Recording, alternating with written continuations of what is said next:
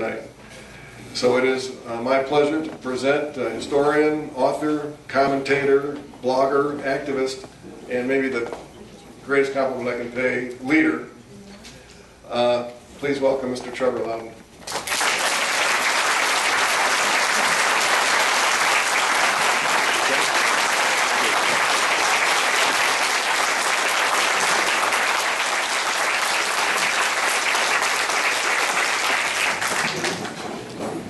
Th- thanks very much, guys. What a great turnout. It's excellent. Can everybody hear me okay? Down the back? Everybody hear me up there? Can you understand a real southern accent? Okay. Southern as you can get without being a penguin. Okay. Look, thanks for having me here tonight. Thanks, John. Thanks for organising this. And I want to say thanks to a whole bunch of people I know in the crowd. There's a lot of familiar faces here. And thanks to Ron and Denise for hosting me and feeding me already. So I'm, I'm feeling sated and happy and good. So I'm going to really let rip tonight, okay? And um, so I'll give you both barrels because this is my first, my first engagement in Michigan in this tour.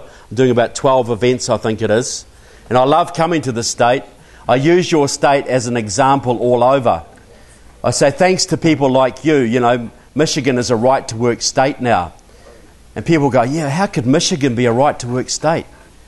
You know, so you've done a heck of a lot here and you're very well organised. It's a real credit. Now, what I do is I travel the country on basically on 90 day visas. I've done for probably 300 engagements to Tea Party conservative groups all over the country. And as I say, they give me 90 days but I'm going to do 91 sometime because apparently I get a free cell phone. and I'm hanging out for it.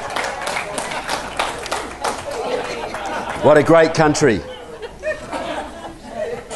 So, um, look, everybody always asks me, why, why do I care about America? And I say there are two reasons. Well, there are many, but the two most important ones are this.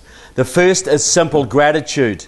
My country was only saved in World War II from an invasion by the Japanese by the huge sacrifice of your fathers and uncles and grandfathers at the battles of Guadalcanal and the Coral Sea and Midway.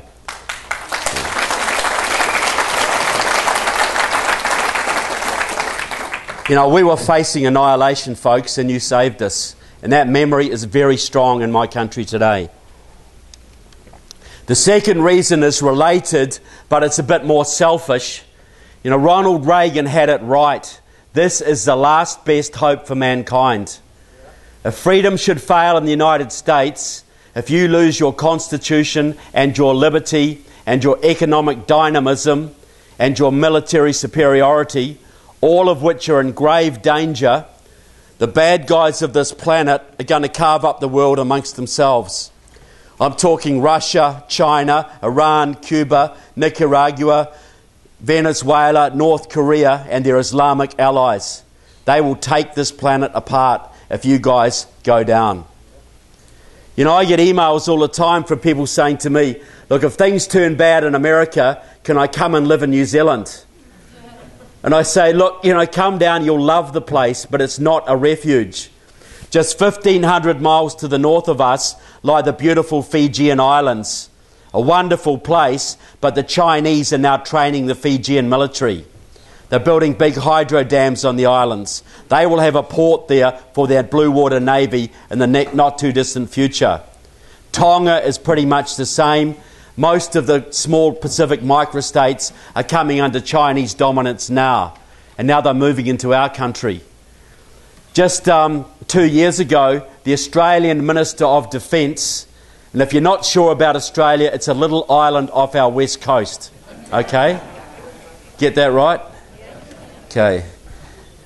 Now, he was up in China for talks, and a top Chinese general publicly embarrassed him. He said, America, he said Australia needs a godfather. The question is this Will it be an American godfather or a Chinese godfather? If you are smart, you will choose China because we are the growing power in the region.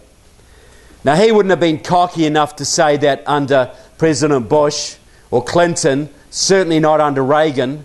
But he's arrogant enough to say that now because he sees the leadership coming out of your White House. And all around this planet, folks, your allies, from Israel to Germany to Britain, Canada, um, Japan, South Korea, Taiwan, Australia, they're all freaking out because they see that your president seems to love the bad guys more than he loves them. Well, exactly. You know, they saw what your president did to Poland and Czechoslovakia, took away their missile shield protecting them from the Russians. They saw him abandon Georgia to the Russians after all the fighting they did to get away from their clutches. And they see what he's doing in the Ukraine right now. Your country has a binding treaty signed in your Senate to protect the Ukraine from Russian military aggression. They gave up their nuclear arsenal in exchange for that promise. And now that they need it, what is Obama doing? He's sending out John Kerry. What's Kerry going to do? Threaten to cut off Russia's ketchup supplies. It's about the most he can do. The contempt the Russians have for this was shown in a big poster I saw, a placard, and a demonstration in downtown Moscow. They were mocking America, and one of these placards said this Your porn is harder than your sanctions. Sums it up, doesn't it? So, you have a president who cries peace all the time. He's got a Nobel Peace Prize in his trophy cabinet. Yet he has abandoned Reagan's doctrine of peace through strength. And if you abandon your strength, folks, what's going to happen to your peace? And you've got Israel now with its back to the wall. They have no friends in the Middle East thanks to the meddling of your president, and they may be forced to take desperate measures to defend themselves, and those measures could put us into World War III. Japan was never supposed to rearm after World War II and now they're rearming, which doesn't please us in Australia and New Zealand. But we understand that they cannot trust Obama to protect them from South, North Korea and China. And you see where this is going, folks. When your president called for support to go into Syria, how many of your allies lined up to help out? Fat zero. Might it be France, was it? You know? And I'm not saying they should have, it was madness, but that shows where American prestige and leadership is going. Your allies are backing off you, folks, and your enemies are getting bolder and bolder. Russia is trying to rebuild the old Soviet empire. The Ukraine is just the first step. China is building a huge blue water navy in the Pacific. They have control of most of Africa. The communists control most of Latin America. Europe is neutralised. North Korea and Iran are working together on EMP weapons. Six nuclear bombs fired into your atmosphere above your country would destroy your, nuclear, your whole electric grid across the country. Your own government has said that if that happens and there's very little protection against it, 80% of Americans will be dead within a year. How serious can you get, folks? And the Congress is doing nothing to correct the situation. So, this is pretty, you know, this isn't about losing some of your liberty because you're Americans, you can take it back. This isn't about a depression. You've survived those before and you can survive them again. But have you ever been in a position where your commander in chief is cutting your military to ribbons when your enemies have not been stronger for years? When the world economy is teetering on the brink of collapse, Obama wants to gut your military. He tells you that peace is breaking out all over, just like he told you you could keep your plan if you liked it. You know, you want to know what Obama's what the truth is, see what Obama says and look at the opposite. Because that's reality. Obama has worked with pro Soviet communists and Marxists his entire life, from Frank Marshall Davis in Hawaii to Alice Palmer and Quentin Young in Chicago. Their number one agenda was to destroy your military. Because they know if they can take out your military, their friends in Russia and China will rule this planet. That's always been their agenda. Because who else is going to stop them, folks? Ireland, Italy, you know, Denmark, Taiwan. There's only one country that's holding the bad guys in place, and if you go down, folks, there's no stopping them. You know, the most significant thing I believe Obama said in his entire first term of office when he was caught off mic, so he thought, in South Korea with the then Russian President Dmitry Medvedev. Yes, Mr. Medvedev, when I get re elected, I'll have more flexibility to deal with you. Yes, said Medvedev, I understand. I will pass your message on to Vladimir. We are with you. How much more blatant does it need to get, folks? How much more of a warning do you need? How serendipitous was that mic being off to let you know what your president really thinks?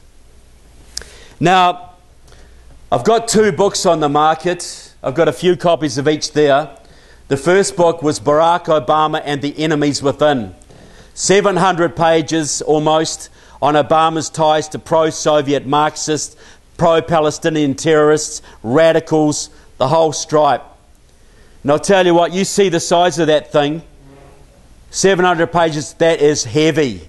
And I got bloody sick of lugging that round the country, I can tell you. Okay? And I vowed and promised that my next book would be smaller and lighter. And this one is The Enemies Within communists, socialists, and progressives in the US Congress. And guess what, folks? It's bigger. Because those bloody commies just kept on coming, folks. The deeper I dug, the more I found. And I couldn't leave out Debbie Stabenow, could I? Certainly couldn't ignore John Conyers. And even Gary Peters, who a lot of people don't realise is one. I couldn't leave him out. You might be surprised that Michigan's had quite a few of them, people. A lot. You know, you've got that union background here, you've got the United Auto Workers Union. They've always used that as a base to control your state. You had Coleman Young in Detroit, card carrying member of the Communist Party. Had Erma Henderson on his council, Ken Cockrel, Maryann Mahaffey, all card carrying members of Democratic Socialists of America. They brought that city down, folks, and what they did to Detroit is a model for Obama's America. Elections have consequences. Now, the books are really about the two big secrets of modern communism. The first secret, I think they borrowed from the devil, because we all know that the cleverest thing the devil ever did was to convince people he doesn't exist. And what have the communists done in the last 20 years, folks? They don't exist, right? Or if they do, they're no longer a threat, are they? Some of the Ukrainians might differ on that one now.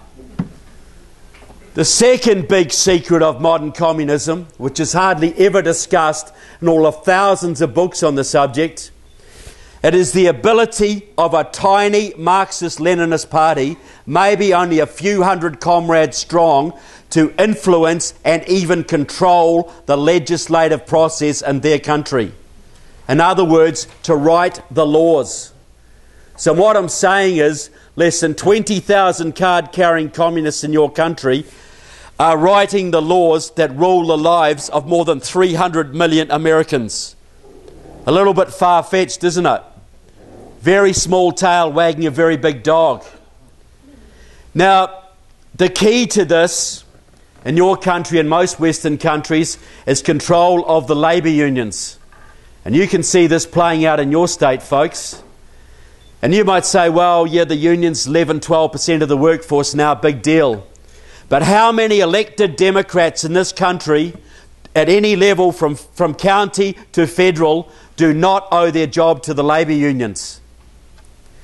For, you know, for get out the vote, for money, for manpower, even for vote fraud.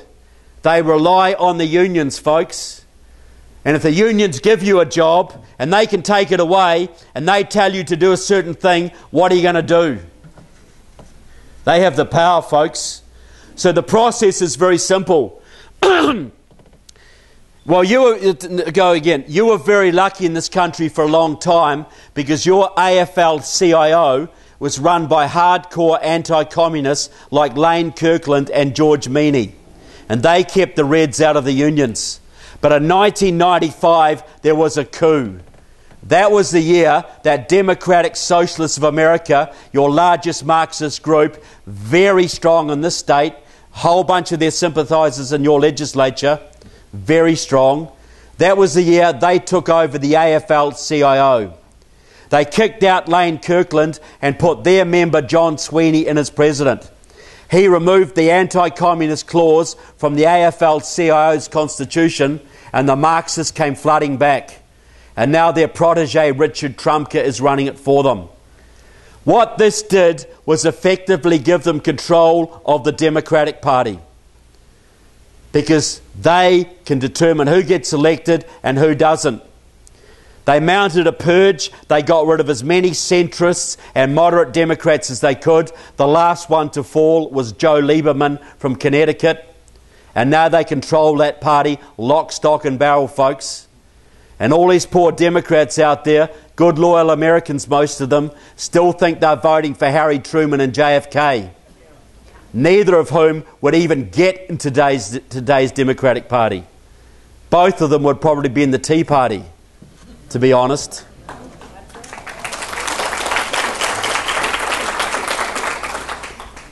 So the process is simple.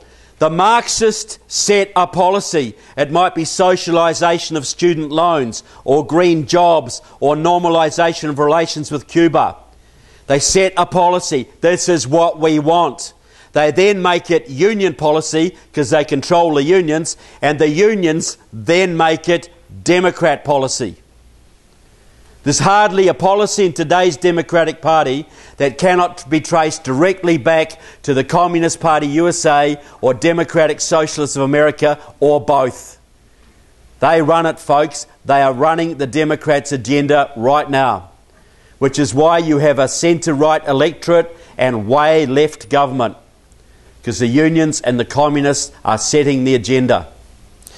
Now, I'm going to give a couple of examples how this works in practice. Now, you know, I got a few corny jokes in my thing, and I know some people have heard them before, but I can't resist saying them all over again. You know, I love them. But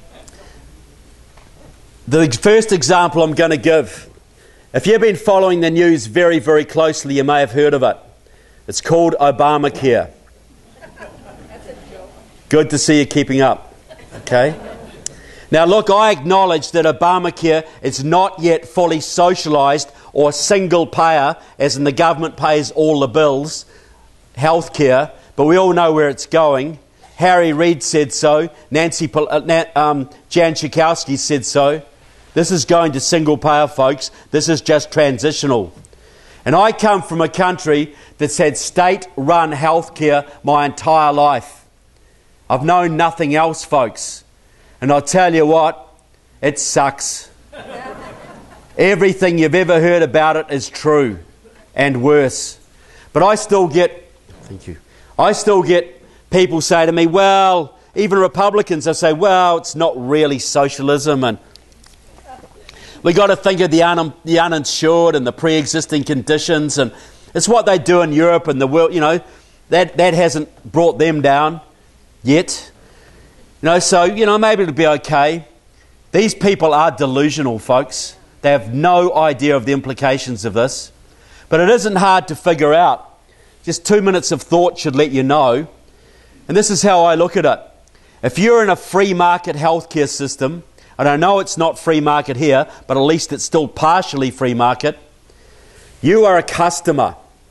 You're a customer of that system. They can make money from you. And if you're a physician, your patient is your customer.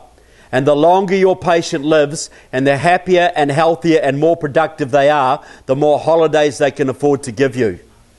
Isn't that the way it works? You know, like how do you business folk in the room treat your customers? Like gold, don't you?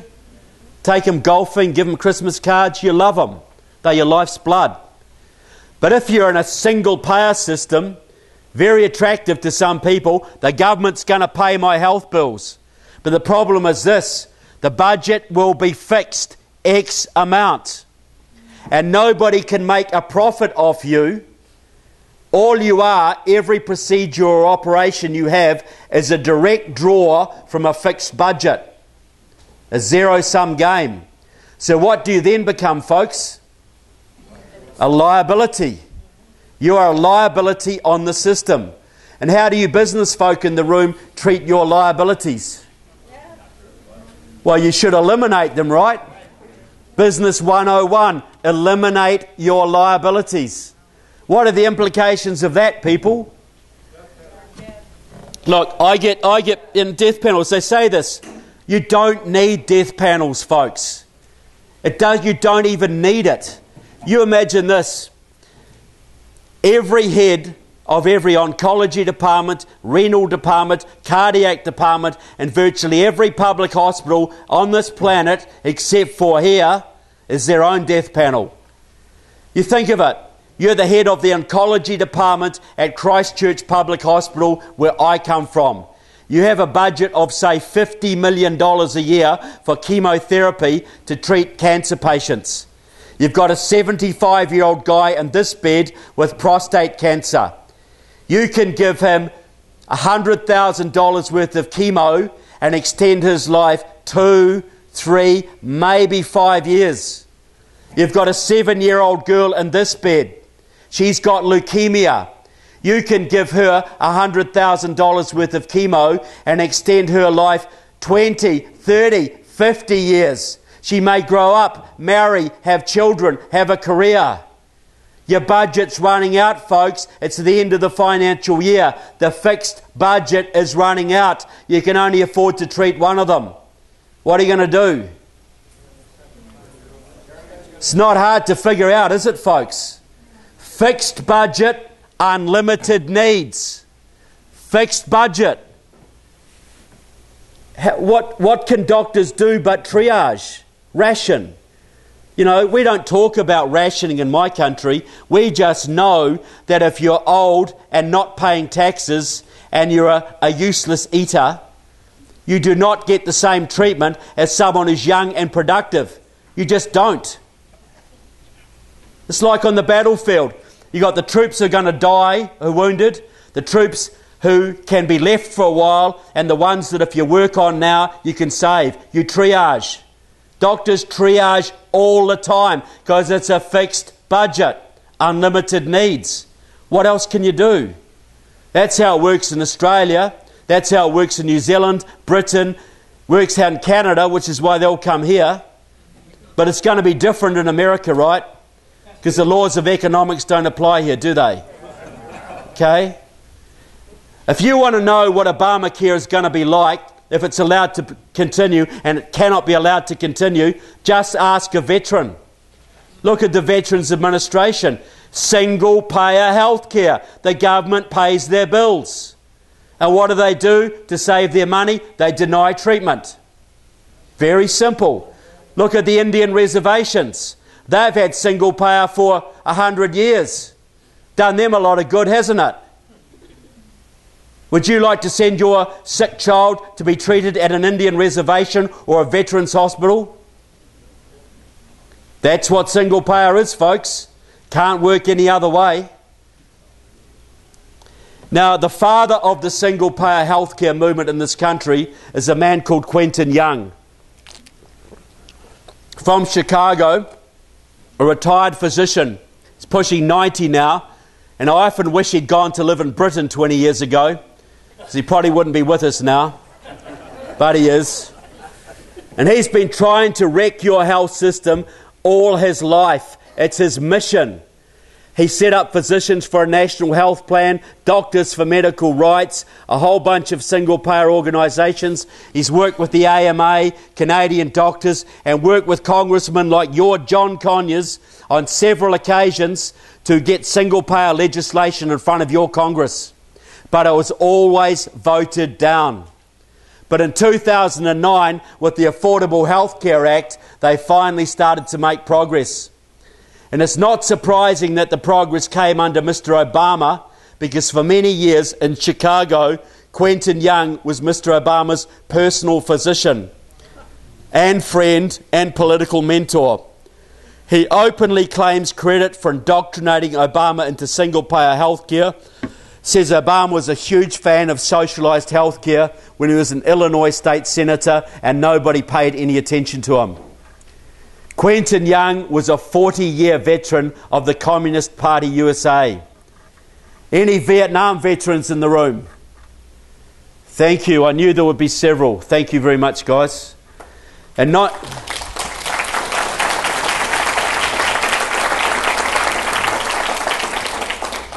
Back in 1972, Quentin Young and three other doctors travelled to North Vietnam to offer their services to Ho Chi Minh's communist government when they were trying to kill gentlemen in this room.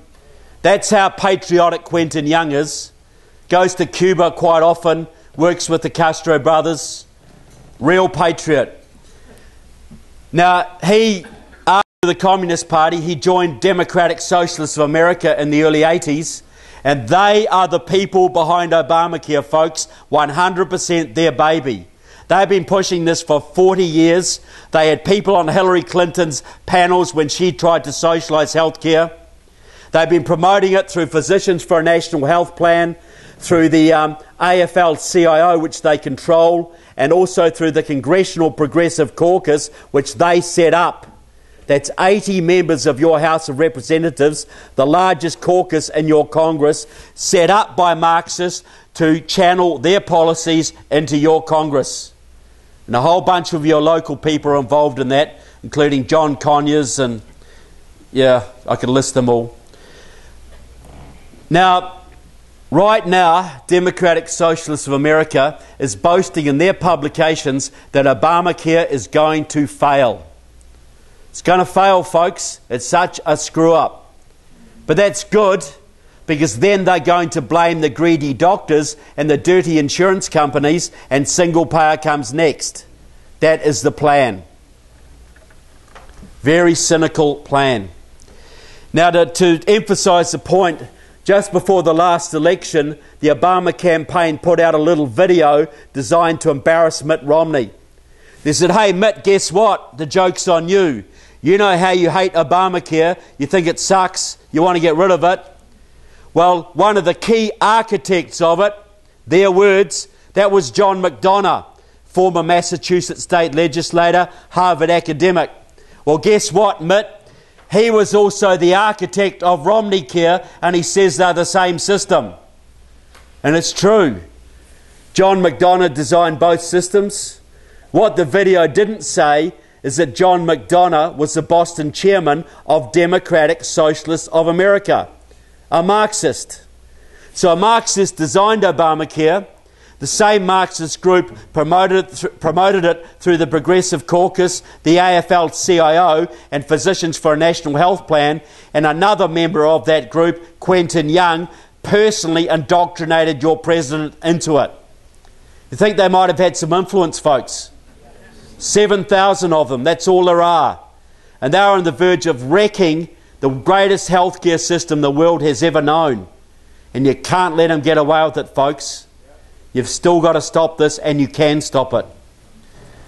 The other big Marxist scam that's happening right now, and we're hanging on this one by a whisker at the moment, is comprehensive immigration reform, otherwise known as amnesty.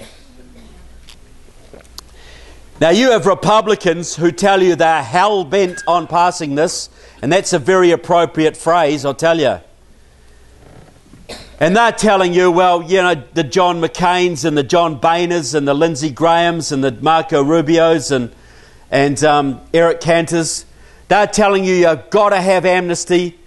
And if you get it and give these people 12, 20 million illegals citizenship and voting rights, they're going to become so grateful they'll all start ticking those R's, right? Good little Republican voters. That's just delusional. You know, the Latinos, who are the bulk of the illegals, vote overwhelmingly Democrat. You know, you look at the black population in this country, it's voted overwhelmingly Democrat, 90% for 60 years now. No matter what the Democrats do to degrade and enslave their communities, they still keep ticking those D's. 80% of the Jewish population in this country has voted Democrat for more than 100 years. No matter what Obama does to Israel, they still keep ticking those D's. People don't change quickly, folks. And maybe the Latinos who are very socially conservative may change in time. But we've got two and a half years, folks. Two and a half years to save this country. And I'll explain why I say that. It ain't going to happen in two and a half years, folks. Now, why do these Republicans, and I use Republicans in inverted commas, by the way, why do these Republicans tell you this garbage? Could it be connected? Could it be connected in any way to the fact that the US Chamber of Commerce has spent more than $1.7 billion promoting amnesty in the last 10 years? What do you think the Chamber wants out of it, guys? Cheap labour. Cheap labour to pluck their chickens and pick their watermelons and run their hotels. Because to the Chamber of Commerce, the people who used to sell scrap metal to Japan, in case you'd forgotten, the Chamber of Commerce, before World War II, the Chamber of Commerce thinks that their profits are more important than your national, national security or your border integrity or the laws of your land. What do you think of that attitude, guys? A little bit unpatriotic, I think. But the real driver of this is the hard left. This was started in California in the 1950s by a Communist Party member named Bert Corona. He was also a Democrat. He set up the big um, Viva Kennedy clubs in the early 60s, the first organised effort to bring Latinos into the Democratic Party. He also set up a whole network of support groups for illegal immigrants across the southwest and southern California.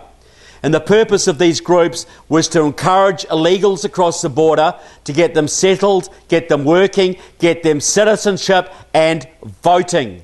That was the key. Corona also trained a whole bunch of disciples to carry on his work for him. And one of and three of these disciples are very active today out in California. Work very closely together. The first one is Antonio Villaraigosa, a hardcore Marxist, and until recently the mayor of Los, An- Los Angeles. He turned Los Angeles into a sanctuary city, and the illegals flooded in in their hundreds of thousands, changed the entire demographics of the state. Second member of this group, Gil Cedillo, a Communist Party supporter and until recently the head of the California State Senate big time immigration activist. He got the DREAM Act pushed through in California a couple of years ago, which gave all sorts of so called rights to the children of undocumented workers. Third member of this group, Maria Elena Durazo, another Marxist, the most powerful woman in California, in my opinion, the head of the California AFL CIO, the unions. She is behind the massive union driven and paid for voter regi- Latino voter registration drives and get out the vote efforts that have added hundreds of thousands of Latino voters to the California rolls in the last 15 years, almost all of them Democrats. Because of their work, and this was a deliberate program, California, which was once a reddish, purplish state, is now solidly blue. Even Orange County, once the most conservative county in the entire United States, is now purple because of this deliberate program. And I'll tell you what, well, I'll go into this in a minute.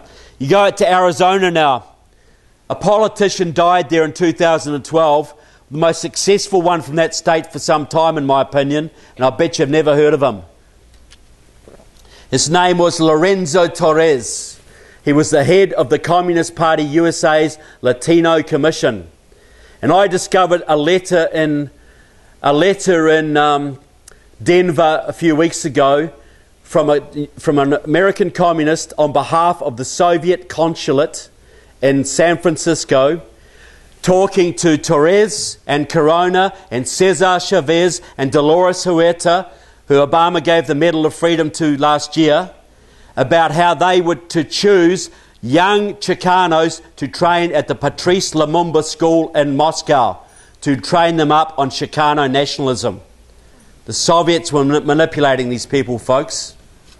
Torres was doing the same as Corona, setting up immigrants' rights support groups all through the Southwest, from Texas to Colorado, Nevada, Nevada to New Mexico. He was also organising opposition to any attempt to crack down on illegal immigration. He led the big rallies against SB 1070 in Arizona a couple of years ago, which, thanks to people like you, they lost. They lost that battle. He also set up networks in Phoenix and Tucson, which gave your Arizona's congressional delegation, Arizona, one of the reddest states in the Union, he gave them three Communist Party supporters in your Congress Raul Grijalva, Ed Pastor, and the freshman Kyrsten Sinema, all profiled in my book. But the man who's driving this today, right now, is a man called Eliseo Medina.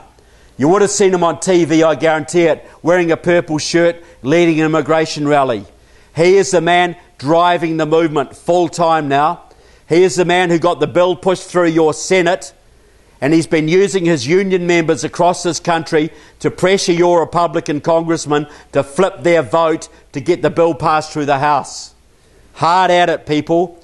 He's a card carrying member of Democratic Socialists of America. He's a supporter of the Communist Party USA, a former member of Obama's Latino Advisory Committee and Obama personally consulted him before embarking on this latest immigration push. He works very closely with uh, Raul Grijalva on immigration issues and also with Luis Gutierrez, the rep from Illinois, who is driving this through the House. Gutierrez is a former member of the Puerto Rican Socialist Party, a pro Cuban Marxist Leninist outfit allied to terrorists. Now, see what people think of this one. Which organisation in this country 20 years ago was leading the charge to, to, to keep illegal immigrants out of the country, against illegal immigration? Well, he was part of it, but it was the AFL CIO. It was the unions, folks. Because they saw that illegal immigrants were unfair competition for union members, would drive wages and conditions down. So in 2014, which organisation is leading the charge to legalise illegal immigrants? The unions, AFL CIO and SEIU. So, why were illegal immigrants bad for union workers 20 years ago and good for them now? The fact is, they aren't. The difference is this before 1995, the unions were there to represent the interests of their members. After 1995, when they were taken over by Democratic Socialists of America and the Communist Party USA, they became there to promote socialist revolution. Illegals are real bad for union workers, folks, but they're great for socialist revolution. The unions are deliberately selling out their own membership because the revolution comes first. Our more union members need to wake up to this one. It took Medina, and they resisted this, folks. They saw this was bad. it took Medina five years of hardcore lobbying within the AFL CIO to get them to flip their policy from anti illegal immigrant to pro illegal immigrant back at their convention in Louisiana in 2000. The Marxists did it, folks. The Marxists conned them into it. So, why do, does he want it? What is the big deal? Why is this his life's work? Well, Medina let the cat out of the bag, or the rat out of the bag, perhaps, at a big progressive conference in Washington, D.C., three years ago. I've got him on tape, quote him in my book. He got up in front of the comrades and said this the number one priority of the progressive movement is an immigration bill. We've got to get citizenship and voting rights for our 11 million undocumented workers. Notice how they keep, always keep the figure low. And did he talk about compassion or reuniting families or giving immigrants a break or the American dream? Not a single word, folks. All he said was this. In 2008, Latinos voted overwhelmingly for Obama and progressive candidates. If we stand by these people and get them citizenship and voting rights, they will stand by our movement. That will give us at least 8 million more Democratic Party votes. That will give us a governing majority, not just for the next few election cycles, but for the foreseeable future. In other words, forever, folks. 8 million votes. The last election was decided by 2 million. 8 million more Democratic Party votes. They get those people, Texas will go blue. And you take the Electoral College votes from Texas, your second most populous state, and the Democrats are pouring in there now. Add them to the Electoral College votes of California, your most populous state, which they've already got through immigration. Add the totals together. The Republicans can never elect another president. Can't happen. It's gone, folks one party state. And if you think that uh, Democrats are arrogant now, what would they be like with 8 million more votes in their pockets and the Republicans permanently out of office? It wouldn't be just the IRS they send after you, folks. This won't be like France or Germany, people. It'd be like Venezuela very quickly and Cuba not too long after, because that is the plan. And you have Republicans, folks, who tell you this is good for the GOP. They're not stupid. They can add up figures. They know what elections are about. They know the consequences of what they're doing. They are selling out their own party, folks, lining their own pockets at your expense and your country's expense. And you've got to primary to them out, folks. The only reason that bill didn't go through the House this session is they're so terrified of what happened to Marco Rubio when he flipped on immigration. And what you guys are about to do to Lindsey Graham in South Carolina. That's all that's kept them under control. Now, the book is also about the individuals because I think these people should be held accountable for what they are doing to your country. Now, Anybody in this room, not counting military, who's ever applied for a federal government job who is willing to admit it? Must be at least one, surely. Yes, sir. Okay, good on you, Mike. Good on you, John. Okay, another brave man. Look, there's a lot of good federal government jobs. There'll be at least six, at least, you know. But did you guys need an FBI security clearance to get your positions? Now, depending on the level of your job, I know they can go through your underwear drawers, right? They check out your family background, um, friends you might have had, um, overseas travel, education, drug habits, any dodgy uncles.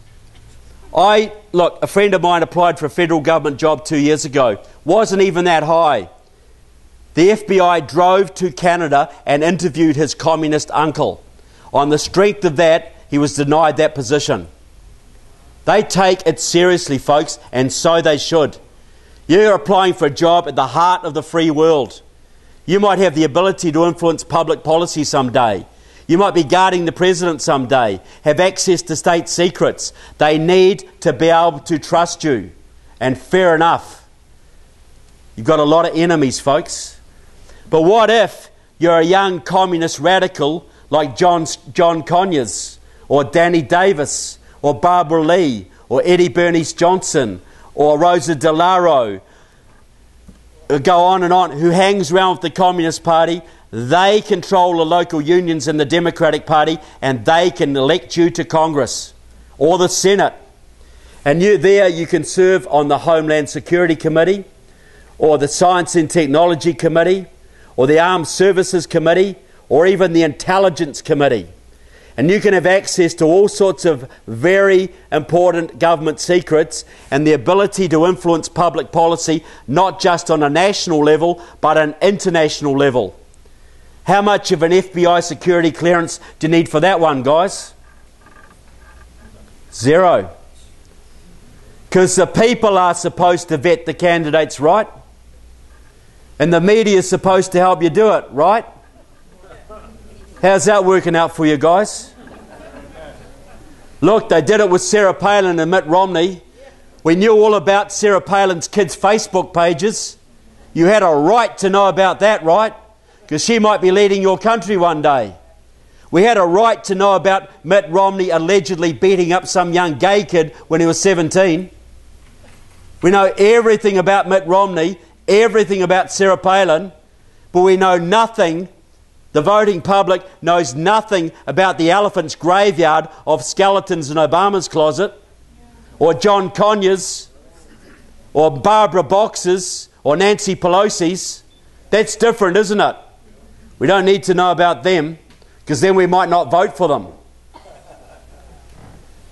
So there's a double standard there.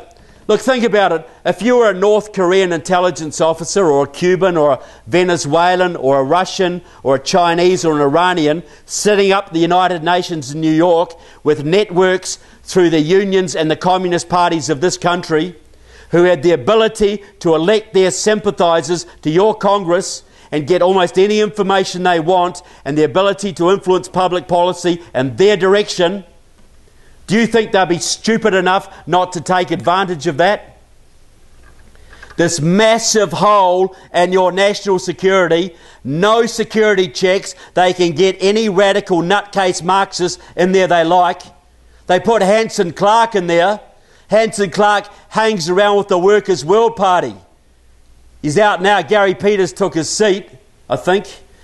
Hang around with the Workers' World Party, a pro North Korean and Iranian outfit and they put him into Congress. Nobody said boo to that. Do you think the enemies of your country don't take advantage of that? Think of the Vietnam War, folks. Did you guys lose that war in the jungles? You won every battle. You had it locked down. But you were not allowed to win the war, folks. You weren't allowed to bomb Hanoi Harbor. You weren't allowed to advance, chase, and hot pursuit. There was all sorts of crazy rules of engagement that were holding you back. And who put those on you, folks? Who defunded the Vietnamese government after the war, after you guys withdrew and allowed the North Vietnamese communists to take over? Democrats and your Congress.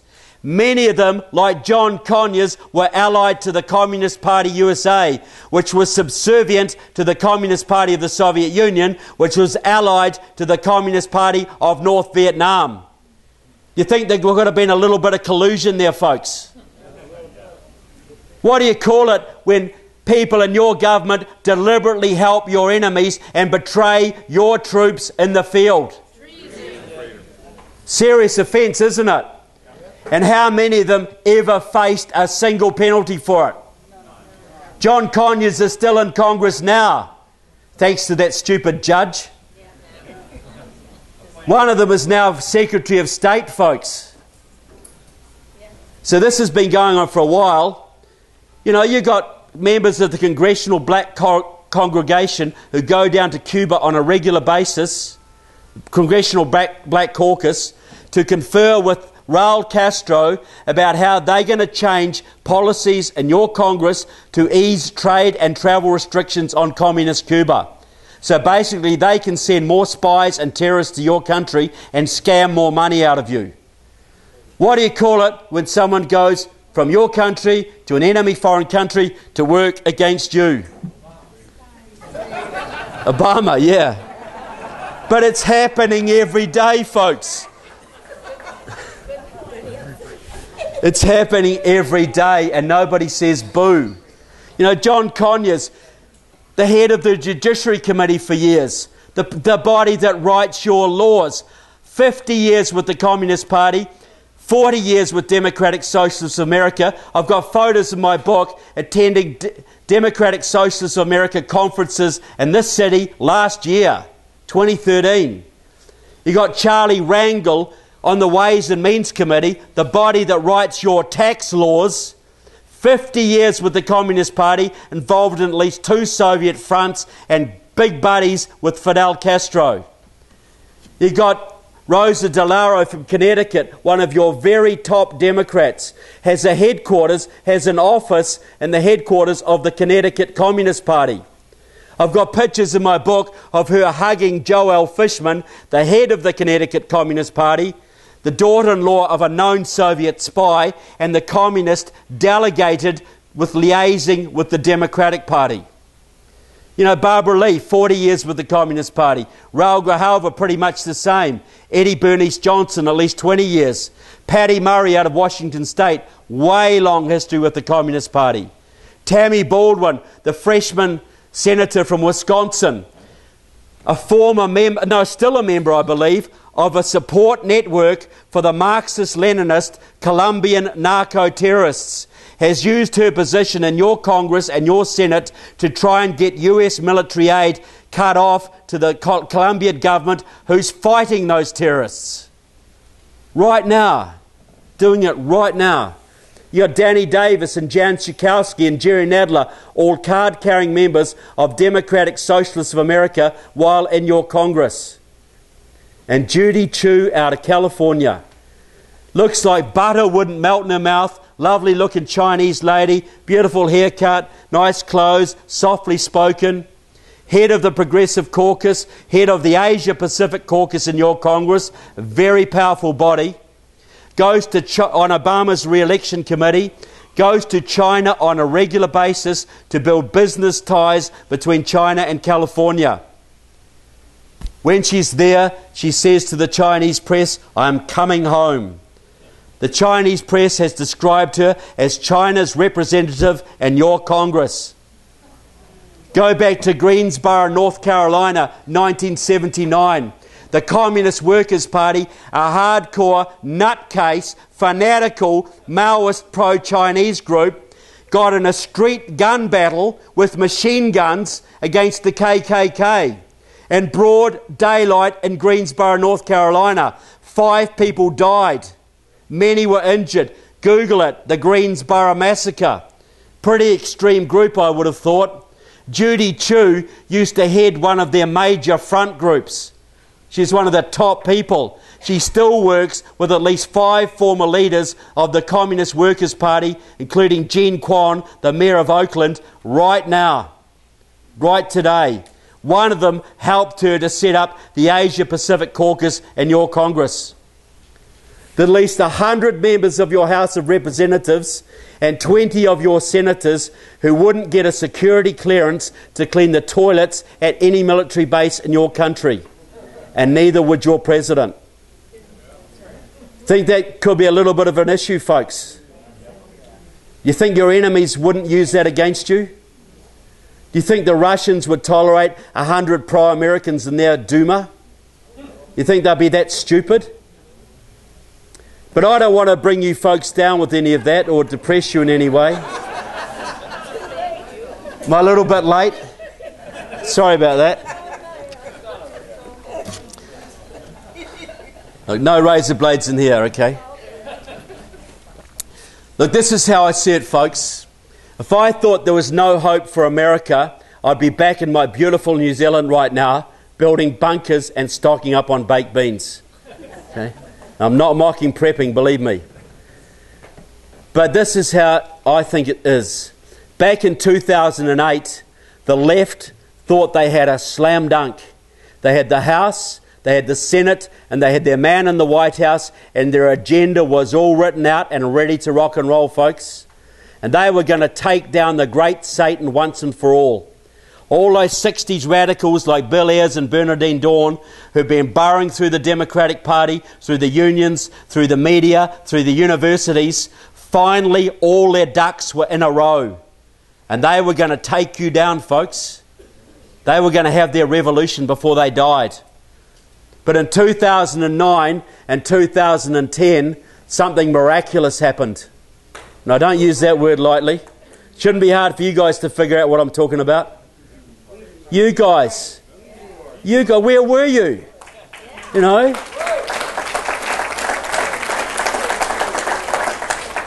You know, you, you all stood up out of nowhere. A bunch of amateurs and novices came out of left field, or maybe right field perhaps. But you, you took them by surprise, folks. You took me by surprise. You know, where, where had you been? You just came out of nowhere and you're thousands and hundreds of thousands and you blogged and you marched and you emailed and you rallied and you agitated and you phone banked and you put some spine into that GOP. And you guys, you and Glenn Beck, took back the House in 2010, folks.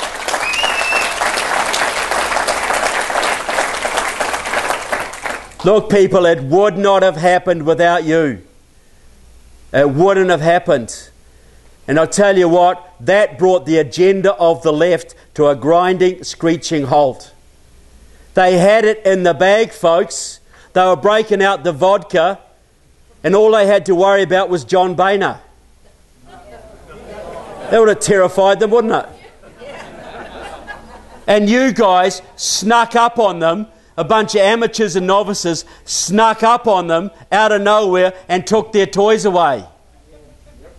And some of you wonder why they hate you. You're genuinely surprised at being called dirty names. Why do they hate us? Because they had it in the bag 40 years of work and you took it off them. That's why they hate you.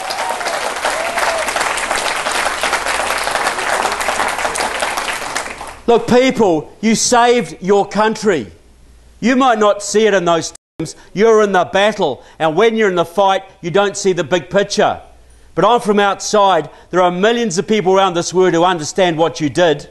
Because had you not taken back the House, the entire agenda of the left would be in now. Those 8, 12 million illegals would be voting this year. Obamacare would be locked in, card check, cap and trade, green jobs, the whole kit and caboodle, folks. Every element would be in now. And how would you fight against that, people? Where would you be then? Well, you could try. You could try it, but a lot of people would die. I wouldn't like to see that happen. The point is, you saved your country. And a lot of you don't even realize that. Okay? You kicked, oh, you also, what you also did, and I'll tell you what, I'm here to say thank you, because you don't get that very often. But there's a lot of people around this planet who are very grateful for what you've done, guys.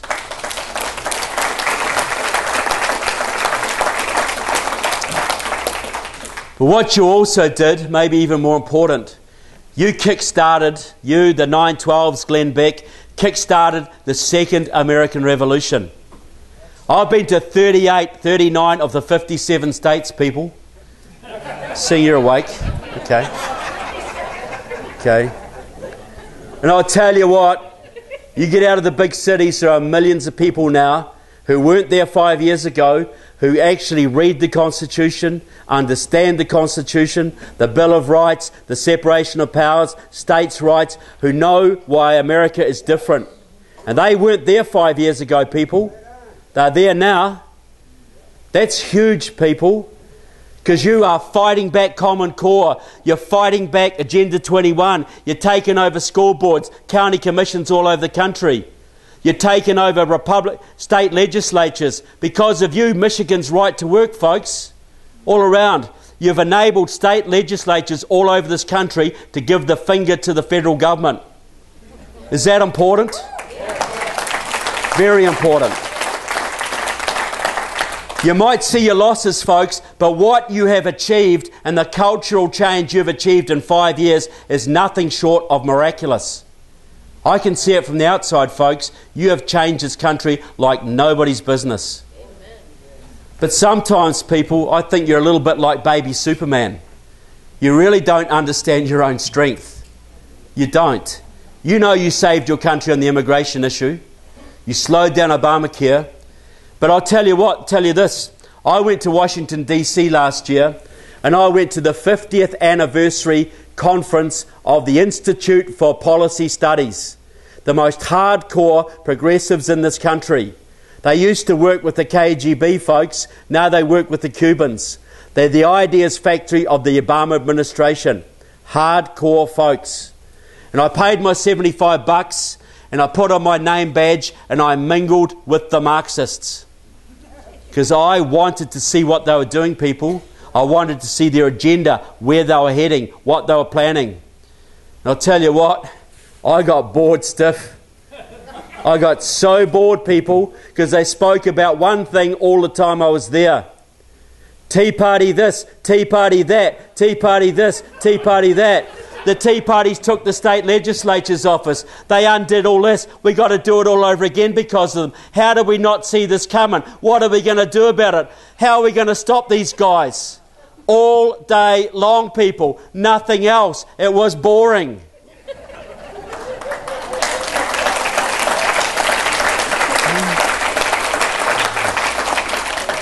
If you don't see your own strength, folks, your enemies do.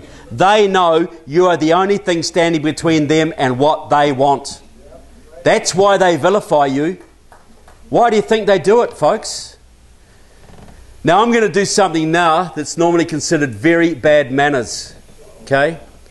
But I'm a Kiwi and I can go home, okay? Don't have to suffer the consequences. Look, you don't go to someone else's country, do you, and tell them how to run things? Okay. See, I get asked all the time. That's why I'm doing it. My only value to you is an outside observer because you can often see your neighbour's problems better than they can see their own. We all know that. It's human nature. I see a country now in a lot of trouble. I see a movement that's had five years of hard, thankless, grinding work. A lot of burnt out people, a lot of tired people, a lot of dispirited people in some places. What do we do next? Where do we go? You know, we, do we have a third party? Do we do this? Do we just do local issues? What do we do? Well, this is how I see it, folks.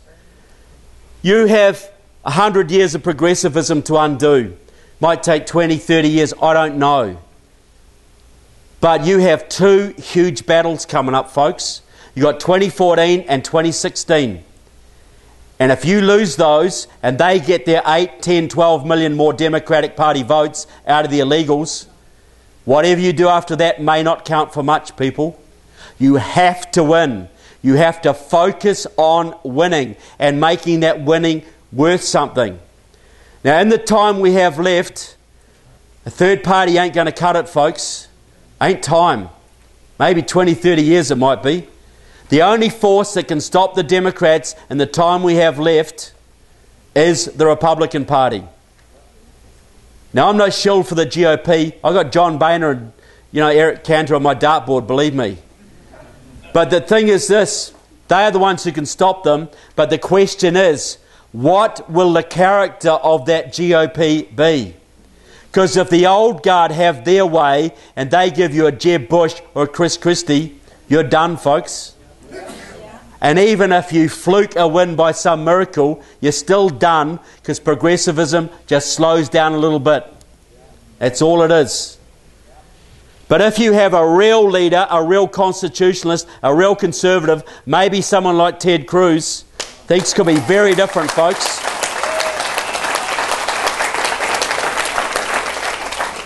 You will choose your leaders, not me, but he's the front runner for the conservative cause right now.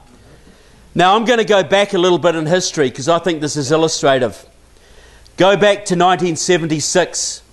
That was the year you'd been losing your freedoms, Republican, Democrat, Republican, Democrat, for decades. And the people were pretty angry about it, but they had nowhere to go. But that year, they got an alternative. That year, a man came out of California who spoke of a shining city on the hill and peace through strength and the Constitution and liberty and the pride in your country. The total opposite of the Carter message, guys. And thousands of people, hundreds of thousands of people just like you, rallied behind Ronald Reagan. And they pushed and pushed and pushed to get him that nomination in 1976, that GOP nomination. And what did the Republican old guard do, folks? The Rockefeller Republicans. They hated his guts. They sabotaged him. They dirty tricked him. They denigrated him. They did everything they could to stop him. Ronald Reagan was forbidden to speak in Ohio by the Ohio GOP that year, folks. Banned from their state. And they just beat him. They gave the nomination to Gerald Ford, and Ford went up against Jimmy Carter, and Carter won. How did the Carter years work out for you guys? Pretty good. Your second worst ever president, right? Think about that for a minute. He was first. You're still suffering from that. You know, Panama, you know, interest rates up to here, gas queues round the corner, Panama, Iran. He made a mess, made a huge mess. But the important thing is this the grassroots, the people just like you, did not give up. They got into that GOP, they took over those precinct positions and the township positions, moved up through the party, and they got behind Reagan again in 1980. And this time, they were not going to take no for an answer. This time, they forced the GOP to give them their candidate. The people helped to choose the candidate. He got that nomination, went up against Carter, went up, went up against Carter again, and took the country in a landslide. A landslide. The hostages were back the first day, folks. First day. The interest rates went down, the taxes went down, the economy boomed, everybody was working again. He rebuilt your military, he re- rebuilt your pride in your country, and he took out the Soviets without firing a shot, folks. Any better president in the 20th century? And why did you have a Reagan revolution, guys? Because people just like you stuck it to the GOP old guard and you chose the candidate.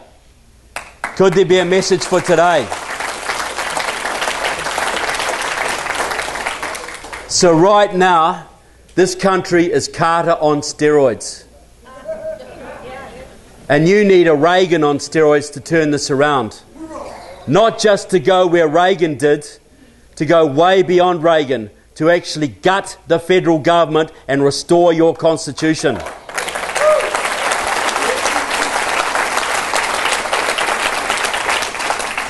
But how are you going to do it, people? Because Reagan was a genius. He could unite the social conservatives, the fiscal conservatives, and the defence conservatives, the three legged stool. That was his base. Got them together. Right now, your base is fractured. You have a million people who voted for Gary Johnson last time. You've got social conservatives, fiscal conservatives, defence conservatives. You've got Second Amendment people, Common Core people. You've got two million GOPers who stayed home last time. And you've got several million evangelical Christians who should be in your base but aren't even registered to vote. And you need every single one of them, folks, to win because you got vote fraud against you, the media against you. You cannot afford to spurn any element of your base. But it's fractured. A lot of these groups don't like each other very much, do they? To be honest. But we need them all. Everybody is needed. The one thing they have in common is they all want something. Everybody in this room has a pet issue, right? Federal Reserve, Common Core, stronger military, you know, Second Amendment, whatever it is, everybody's got something that excites them more than something else, right? It's what drew you into the movement. Fiscal responsibility, whatever it is, the Constitution. So, this is what I would do if I was a man like Ted Cruz. I'd want to get that coalition together now, early, before Jeb Bush gets any money or any support. I want to rebuild that Reagan coalition. So I'd be going out to all these groups right now. The first thing I'd say to them, the first thing that's going to happen, guys, I'm going to run and run early, and I'm going to put Allen West on my VP ticket.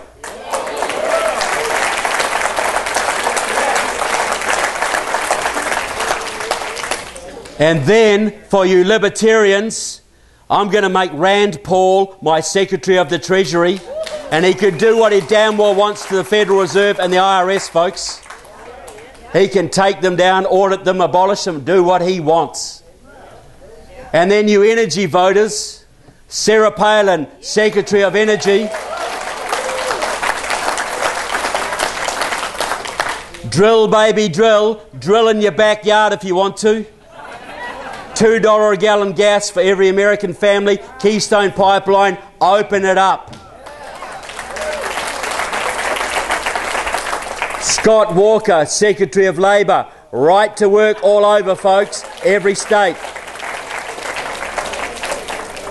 Herman Cain, Secretary of Commerce. Deregulate, deregulate, deregulate.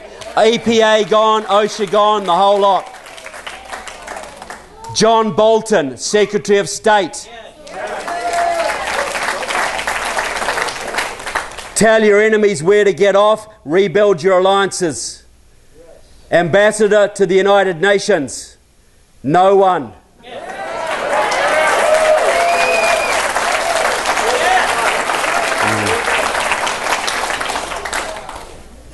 Dr. Ben Carson, Secretary of Health and Human Services.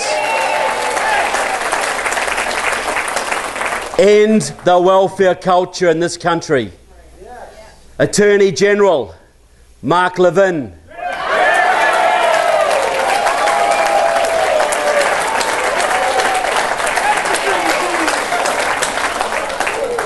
Stick it to the vote frauders, people.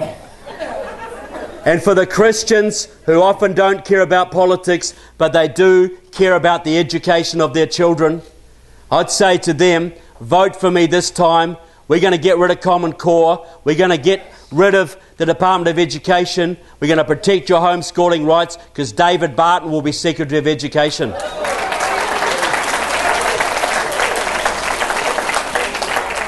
Look, you could fill the whole cabinet, folks. Fill it now. There's all the people out there who could fill that. Would you rally to a team like that? Would you get out of bed every day and can't wait to get to the phone bank and open your checkbook and door knock to get those people into power? And would it unify the base? Because everybody's getting something, right? Everybody, you might not like Sarah Palin, but you love Allen West. You might not like John Bolton, but you love Rand Paul. Everybody's getting someone to inspire them and a clear policy direction. You know what you're going to get. Because where else do we work our little butts off, folks, for a nebulous promise? We don't do it in business. We don't do it in our education. We know what we're going to get. That's why we work. If we know what we're going to get here, we will work like nothing else.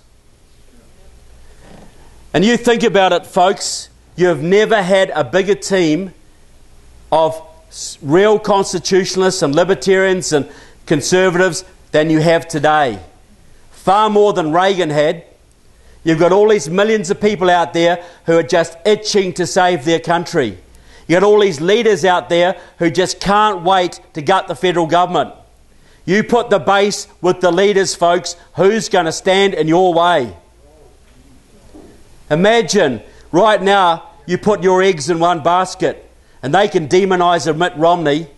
You try demonizing 20 hardcore constitutional conservatives campaigning over this country, a bunch of rottweilers who don't take any crap from anyone, who are all backing each other up.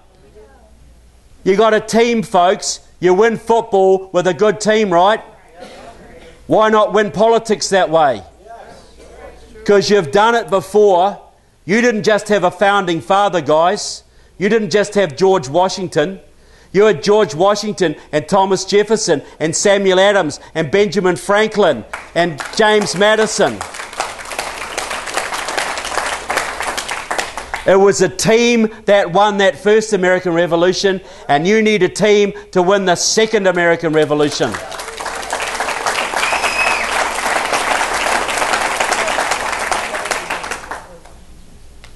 And it can be done, folks. It's been talked about. I know delegations have gone to Ted Cruz discussing this. He used two of several of my talking points at his speech at CPAC. So we'll see. So, what I'm asking for you, out of you, is two and a half years at least of the hardest work you have ever done. Because you've done five people, five years of hard, thankless work. But two and a half more years is going to decide the fate of this country. And you know if you do nothing, folks, you know what's going to happen. And the world, as you say. Everything hangs in the balance here. Two and a half years of hard work. Victory is not assured, but there is hope. There is always hope. And I can tell you this if you do two and a half years of the hardest work you've ever done, the very least, the very least I can promise you is the right to look your children in the eye and say, I did everything I could. What is that worth to you guys?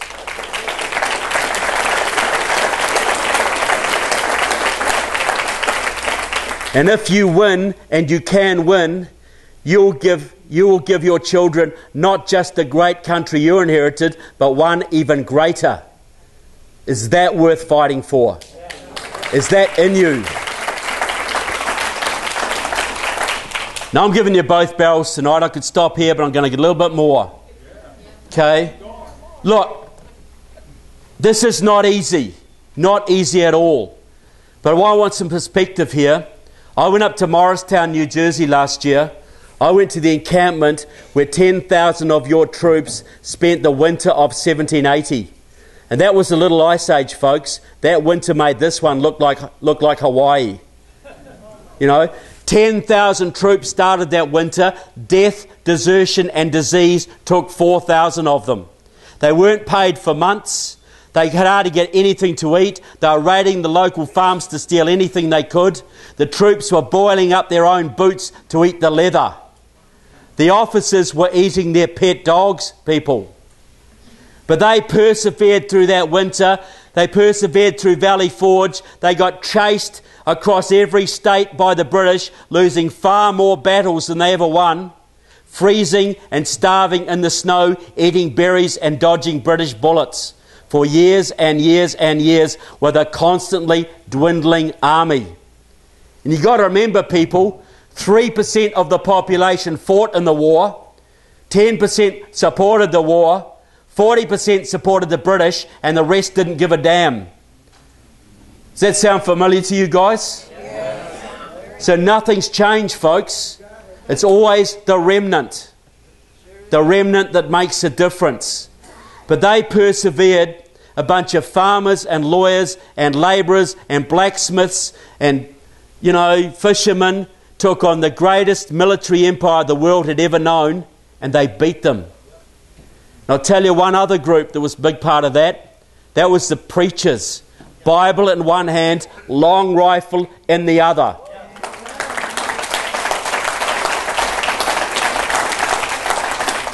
And they persevered against all the odds, and they took out the British at Yorktown in a surprise attack and turned the war. And look at the country they gave you, guys. Look at the country those patriots gave you. And you know how miraculous that victory was. Would you have bet on George Washington? Would you have put your house on George Washington? But they stood up and they knew they were doing what was right. They knew they had help, folks. And I'll tell you this George Washington understood exactly how miraculous his victory was. And if you stand up for your country, the greatest country the world has ever seen, and do what's right, will you be forsaken? Will you be abandoned? No, you will not. But you have to stand up. So we understand, people. Do you think those patriots who are freezing and starving in the snow had any idea of the amazing country they were creating? Do you think they had any idea of their role in history? We can see their role because we look back 200 years. We have perspective. We can see what they did and the chain of events they set in motion. What about your role in history, guys? How about you look forward 200 years? 200 years from now, some young kid will get up in front of a civics class in this town and he'll say to his friends something like this Guess what, guys? I'm blown away. You know how we studied that second American Revolution in history? When all the, everybody thought the country was done, the patriots stood up against all the odds and restored the Constitution. Look at what we owe them, guys. Well, I found out something amazing. I'm blown away.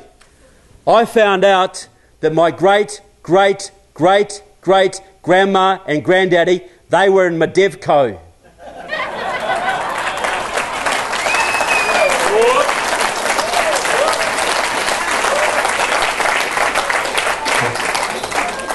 How cool would that be? So I want to say to you people, thank you so much for what you're doing for America, for liberty, for my country. God bless America and God bless the Tea Party. Thank you. Thank you. Thanks, guys. Yeah, yeah, take questions.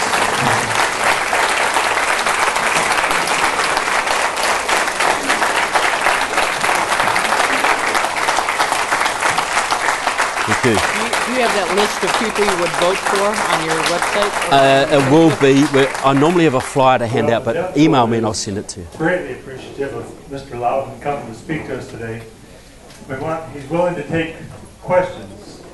Do you have anything other than a question, save it for one of our Medefco meetings, but if you have a question that he can answer for you, feel free to raise your hands and we'll scan the room and we'll try to get as many questions in as possible.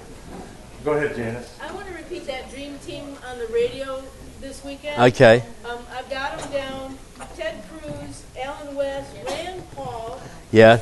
Scott Walker, Herman Cain, Sarah Palin, John Bolton, Ben Carson, Mark Levin, and David Barton. Yeah. Can you think of anybody I might have missed? Well, that was all I had, but you could add maybe maybe, maybe Jerry Boykin as defence or something like that. You know, look, it's up for people to choose, but that's that's the ones I'm thinking of. Who for Supreme Court? You had Herman I for Secretary Commerce. yeah, Commerce, Herman Cain. Yeah, yeah. Look, I, we. I, we- we've got a website and we're going to go through the whole lot, the whole lot. But that's what we've just got off the top of our heads now. That's Is it on the website right now? No, but we're, we're developing a website that will do that. But just that's uh, to get people thinking about it, you know? Jeff? I just want to know how you talk for an hour without a teleprompter. I got one just under my skin here. Thanks. Look, where, when you actually believe what you say, it is not hard to do. Okay? Mike? Yeah. How does the George Soros faction and the Islamic faction factor in? Okay. This is two very okay. That's very good points. Now, this is how I said. I'll do a bit of speculation on George Soros, right? Now, you got to look at Georgie Soros. He was a little Jewish boy in Hungary in World War II, and his the Nazis invaded, and his father got him adopted, fostered out to a Christian family to protect him from the Nazis. The father of this Christian family was a capo. He was going around confiscating Jewish property for the Nazis. Little Georgie used to tag along and said it was the best time of his life. Then the Soviets invaded and they were hanging Nazi collaborators from the lampposts, killing them, shooting them. Yet George Soros was allowed to leave Soviet occupied Hungary, effectively a Nazi collaborator, to go out of Nazi occupied Hungary, uh, Soviet occupied Hungary, through Soviet occupied Austria, through numerous checkpoints out to the west. How would you do that had you not made a deal with the authorities? How could it be done? It's not very credible, is it? He then builds himself up in business, has high level contacts with the Russian and Chinese government in the 70s and 80s, then works and works to destroy Israel and the United States by funding the left. Who do you think, I think, Soros works for? That's what I believe. The Islamists, okay, it's a bit like union members do not understand that communists are running their unions. Most Democrats do not know that communists run the Democrats. Most Muslims do not know that Russia runs much of the Islamic movement. They have been infiltrating the Islamic seminary since the 1920s. They have been working with Islamic leaders all that time. Um, they set up P- the PLO, they set up Hamas. Litvinenko, the um, guy who was po- the KGB man who was poisoned by thallium in, in, in London, he claimed that the number two man in Al Qaeda was trained by the KGB. He also claimed that the KGB deliberately bombed their own, bombed Moscow to blame it on Islamic separatists to make it look that, like they were being attacked by the Muslims as well. I could go, you know, Ion Pacepa, the head of the Romanian KGB, wrote in his book Disinformation last year. He had a meeting with Andropov, the head of the Soviet KGB, in 1972. They were sending, at that point, 4,000 KGB agents into the Islamic world to stir up hatred against the United States and Israel. They are directing this, folks, and it's so tragic that a lot of American conservatives and Christians look at Vladimir Putin, who puts a cross on occasionally and makes some anti Islamic statement. They see him as the great savior of the West against the Islamic hordes. He's running it, folks. The biggest scam in history. Oh, except for Obama, perhaps. What are your feelings of the Bowe Bergdahl prisoner exchange for five of our, uh, for five, uh, prisoners? Yeah. Well, how, how do you think America looks around the world now? You gave away five terrorist leaders for a possible traitor. And I'm not saying he is yet, the evidence is still there. You know, like Ronald Reagan would have sent special forces in and shot up the Taliban and pulled the guy out. He wouldn't have given up terrorists in exchange. And Obama thinks this is a big foreign policy victory, that the American public are going to be so impressed about this. You know, this shows how whacked his thinking is. This man over there. Oh. Yes, ma'am. the World Banks, you know, is that too conspiratorial, or I mean, they are, they are valuing Yeah, well, there's two, uh, two aspects to that. You've always had the people like the Council on Foreign Relations, etc., who are sort of big government progressives who work with the Republicans and they want world government, they want centralised control. The other factor is this when was the World Bank set up? When was the United Nations set up? After World War II, right? Diana West has written a great book, American Betrayal. She says very correctly that during World War II, the Soviets basically ran US foreign policy and domestic policy through their network of agents in Washington and the Obama and the uh, Freudian slip there, through in the Roosevelt administration. They set up the World Bank. They set up the United Nations. Those organisations, the IMF, they were set up by communists to basically drain your treasury and send your resources all over the world. The communists who controlled your government set up these organisations to scam you, and you're still paying for them. When I had a friend who trained in Moscow in 1983, he infiltrated the New Zealand Communist Party for our security services and was sent to Moscow to train at Lenin's Institute for Higher Learning. 6,000 people training there, folks. They were told there, the United Nations is our thing. We run it. It's ours. It's always been ours. It's an agent of Russian foreign policy. It still is. And you guys pay for it. On your soil. That's why you don't need an ambassador to it, and that's why you don't need it located on your soil. I need to get back to the charge part. Just a minute. Excuse us, please.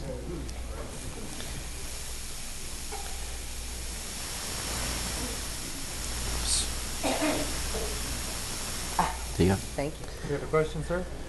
Do you agree with the assessment that the country's in the middle of a cold civil war? Look, I would say this country has not been more polarised since the Civil War, and I don't want to see shooting breaking out. But it's it's this is five percent of the country is trying to destroy it, five percent is trying to save it, and ninety percent in the middle are basically patriotic people who have no idea what's going on. You know, so it's a matter of you guys increasing your five percent to seven, eight, nine percent, and beating those guys down. Yes, it is in a cold civil war, absolutely, because the survival of your country as a free republic is at stake right now. And it's coming to the crunch. What about the Bilderberg Group and the and Fabian Society? And Yeah. How, how, what part do they play in all of our politics? Well, look, the Fabian Society, their offshoot was the League of Industrial Democracy in this country, which begat the SDS, which begat the, the Weather Underground terrorists, which begat the United Auto Workers Union. So they've always had a role. The Bilderbergers are more like the Council on Foreign Relations. Super influential people, some of them communists, some of them business people, all of them either cronyists or fascists or one worlders, basically trying to centralise power for themselves. So, a very malevolent organisation, in my opinion. Sir, I just want to say that it's wonderful to hear what you, a person yourself, what you're saying tonight. Give you all the credit in the world. Yeah, well, thank you. There's a couple of things, you can't cover them, you covered the political. Oh, there's a lot of things I haven't covered. Covered the political thing almost perfect. Yeah. But what you're not able to cover is the infiltration of our educational system, our colleges and universities. Yeah. These are all instruments of Marxism. The, our young people are what, they're so liberal today, they all went out and voted for Obama. Yeah. That's because of Marxist instructors in our universities across the land. Yeah, absolutely. On top of that, the infiltration of the churches. Yeah. This is something people don't want to look at. This has been going on for years. Yeah, look, I- area, we have a Bishop Gumbleton, he's an Gum, out-and-out Gu- I, I've got Gumbleton. I've got a big file on Gumbleton. He's an out-and-out communist. I've been fighting him for 30 years. Yeah. Look, you're right. I fought Coleman Young back in the 1970s. Yeah. I begged the man running against Coleman Young to expose his communist background. He wouldn't do it. He wouldn't do it. The Detroit newspapers absolutely blacked out the Yeah. communist background of Coleman Young, and then when he died, they brought out all the facts about his communist Yeah. background when he died. Yeah. But there's one thing more I'd like to say, if I may. There have been people fighting this for years. I'll go back to the 60s. You Yeah, Fred Schwarz. Society. Yeah. And Moscow in 1961 issued an order to all of the communists in the United States to zero in on a growing anti-communist movement. Yep. And they zeroed in on the John Birch Society. Absolutely. And this is exactly how they did it. They smeared the John Birch Society to the point where anybody who would even dare speak out against communism, you're a Bircher, you're a Bircher. Today it's not you're a Bircher, you're a racist. Or- In 50 years, this country went from a communist being looked upon as the greatest threat to freedom in our country to the year 2014 when the racists are the enemies of the communists are now the enemies of the American Republic. Yep. That is where it's at in this year, 2014. Look, you're absolutely right, sir. Only one more thing I want to say. Okay, one more thing. One more. The Bella Dodd. I ask everybody here to look up Bella Dodd. Yep. Teachers Union. Yep. She was a high-ranking member of the Communist Party. Left the party. I had the honor and privilege of meeting her. Okay. She told a group of us in 1961, the communists have already so penetrated this nation's institutions, there's no re- there's no reversing it now. That's Yeah. what Bella Dodd said in 1961. Yeah. My main point is that there are people that have come before and have fought. They have fought valiantly. They've been smeared. Senator McCarthy is one of the greatest Americans who ever lived. Absolutely. So, uh, And I'll just, I'll just like to address that. People have come before, and the reason we are still here is because they at least held them at bay to some degree. Had there not been a McCarthy, had there not been a Bella Dodd, had there not been a John Birch Society, this country would have been done a long time ago. And I agree with you, sir, absolutely. You know, this is a serious situation. It's been going on for a long time. The communists deliberately infiltrated the, the, the journalism schools, the seminaries, the theological colleges, and the teachers' colleges way back in the 40s. So we are reaping that whirlwind. That's why we don't do what George Bush did try and convert the Department of Education into making people conservatives. You've got to abolish it and decentralise education across this country so they can't indoctrinate our kids anymore. Yep. Well, I just want to say a couple of things. I just want to say before we wind up. Now, I've, I've got a couple of guys in, um, in Iowa who are working with some quite big Hollywood producers to do a film of my book. Now, we're going to do some fundraising for that soon, sort of crowdsourcing and that. I've got a page there. If anybody wants to help with that, just put their email address on that and we'll send the information out when it comes. But I, the, the most important thing I want to say is the only reason I am doing what I'm doing is because you guys are doing what you're doing. I would not be coming to America without the Tea Party movement. I never saw. I thought it. I never saw. Never thought I'd see this in my lifetime, and I'm so gratified that I have. So it's an honour to be amongst you. History will write of you very kindly. So thank you very much.